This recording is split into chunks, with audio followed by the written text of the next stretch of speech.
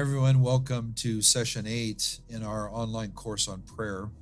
Uh, we've kind of taken a shift and now we're looking at some of the New Testament prayers. So if you have your Bibles, let's just jump right in. Turn to Ephesians chapter 1.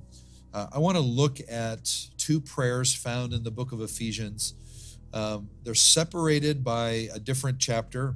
I want to give a little bit of an explanation and so, in this session and in the next session, we're going to look at the two main uh, apostolic prayers that are found in Ephesians 1. And in this session, we'll look at Ephesians 1, and in the next session, Ephesians Ephesians chapter 3. I just want to give us a, a minute of back of background information. Ephesians is such a profound, powerful book.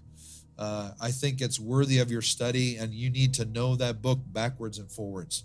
Uh, Paul gives us so much content in that in that letter to the church at Ephesus, and it is profound and it is powerful. And one of the things that he mentions right in the first chapter, just before we get to the prayer, he talks about several different things that we have been given in the heavenly realms. He starts to he starts to map out our life in Christ as as believers connected to Christ, but he gives us another aspect of the eternal purposes of God, that which God seeks to achieve throughout all of eternity right? There's a couple of there's a couple of places in scripture we can go to and really point to god's eternal purpose. And you and i we need to know god's eternal purpose because it connects our personal lives in the time in which we're born with the people that we're connected to to god's purpose for our life he He's, his overarching eternal purposes touches our lives and comes down to the earth in our lives as it comes through Jesus Christ. And so we looked at a couple of purposes before. When we looked at John 17, we talked about oneness and we talked about mature love, that the love with which in the in the Godhead, right, would be in our lives, and that we would be one with the Godhead as they are one. That's God's eternal purposes. But here Paul even gives us more. And he says this, I'm looking at Ephesians 1, uh, starting in verse 9. This is what he says having made known to us the mystery of his will. Now, when God, when Paul writes the word mystery, he's not saying stop sign. No, he's saying, okay, it's a mystery, but keep coming, keep digging. Go past what seems to be the immediate barrier and boundary. Don't just take that boundary as a as an answer no, as a rejection no, push past it. When Paul talks about mystery, it's actually not a stop sign, it's an invitation. Keep coming, keep digging, keep pressing, keep knocking, keep seeking, go for more. And then when he gives us the prayer, then we understand why he tells us to do this. He says, The mystery of his will. What's God's will?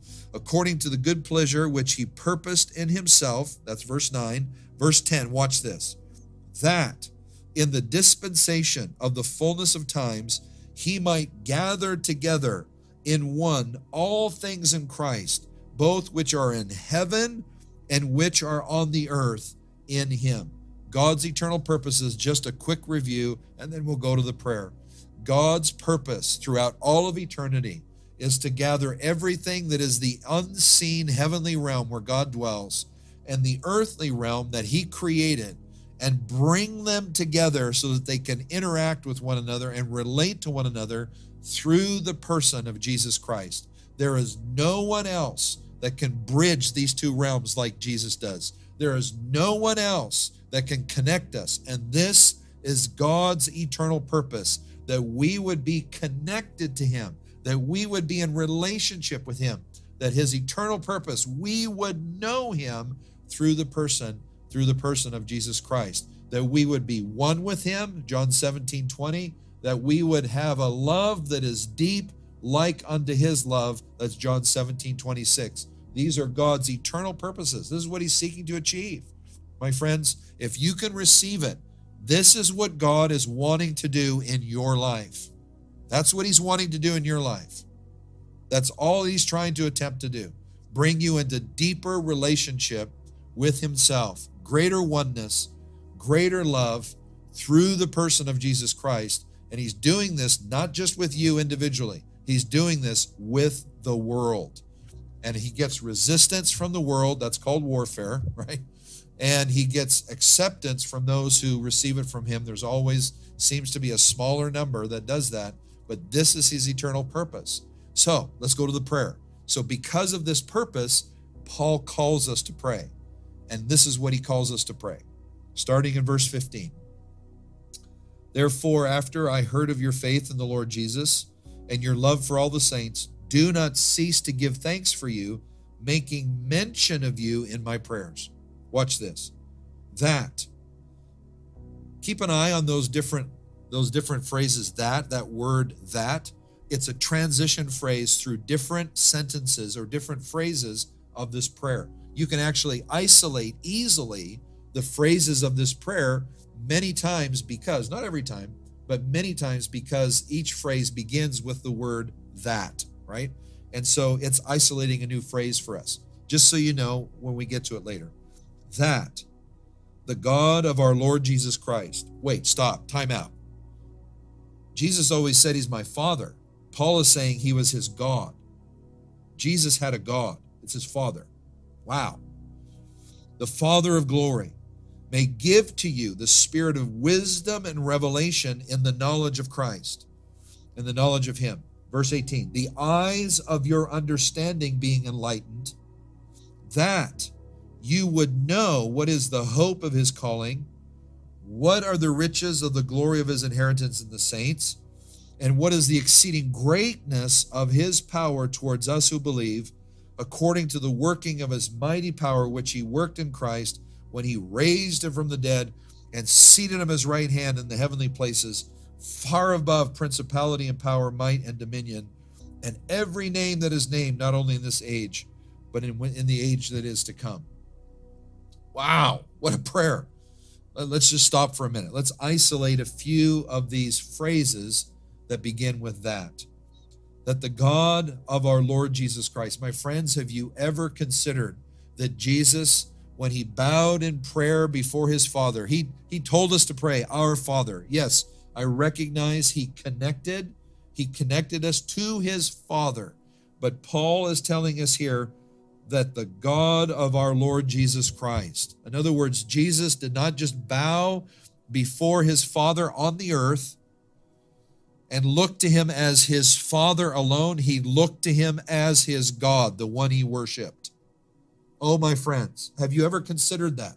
That Jesus worshiped his Father as God. As you and I would worship Jesus as our God, Jesus worshiped his Father as his God. Jesus had a God. I don't know if you've ever thought of that before, but Paul is clearly saying, the God of our Lord Jesus Christ. Next, the Father of glory may give to you a spirit of wisdom and revelation in the knowledge of him.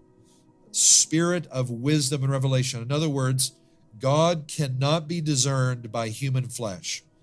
The only way we can interact with God is through that spirit of wisdom and revelation. If He reveals Himself to us, which He longs to do, He loves to do.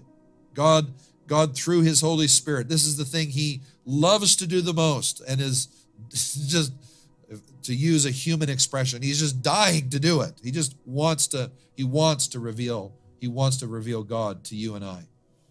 He says that the eyes of your understanding would be enlightened. In other words, that that spirit of revelation would turn on the lights. Paul, I believe, is specifically referring us back to that moment where on the road to Damascus, when a light shone from heaven, it blinded him for a few days. And after he had hands laid upon him and the scales fell off his eyes and he saw God, I mean, he saw God in a completely different way. In other words, the the light of revelation that touched Paul's eyes. It was not just his physical eyes, my friends. He was speaking.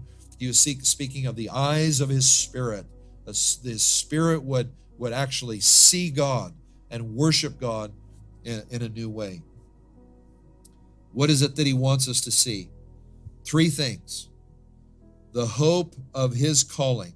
In other words, what hope comes to us through what Jesus is called to do.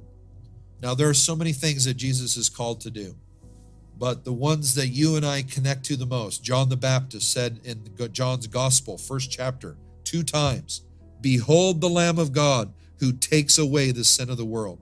In other words, what's What's the hope of Jesus' calling? Is that he will remove all of the injustices of the earth. He will remove them as he comes as he comes to lead the earth. The hope of his calling as Messiah to rule and reign from Jerusalem, not just in the clouds, but on the earth, truly from the throne of his father David. Oh, my friends, there's diff- so many different aspects that we are, that what truly gives us hope is the calling of Jesus Christ that he has accepted to walk out, that he's been given by his Father. Next, he says that we would know the hope of his calling and what are the riches of the glory of his inheritance in the saints. My friends, we are Christ's inheritance, and he sees it as a good thing. He's received us from his Father as his inheritance, and he's happy. He's happy that he gets us. That should humble you and I. That should call us to our knees in thankfulness and worship. It should drive sin from our lives because we're his inheritance and why would he want me look at my life i mean if he if he could truly see what i did last night oh my god you know it's like and no he's he's saying no i i take you now let's change your life. Transform your life. He says i i take you as my inheritance. And then third the exceeding greatness of his power for thus for those who believe. In other words that we would touch the power of god that same power, that word there is dunamis, that same power that was used to raise him from the dead. He wants us to experience this power in our lives, that we be power empowered internally in our hearts by the grace of God, and that our works, our hands would be empowered, that what we would do would have power on our hands. These are the things he wants us to know. My friends, this is a prayer that you and I should be praying. Oh, that the eyes of our understanding would be enlightened that our eyes would be open, our spiritual eyes would see God in all of his beauty. Oh, my friends, this is a prayer we want to pray. This is a prayer we want to pray for our families. This is a great prayer of the Bible. Let's dig deep into it. The Lord bless you. See you in the next session. Bye bye.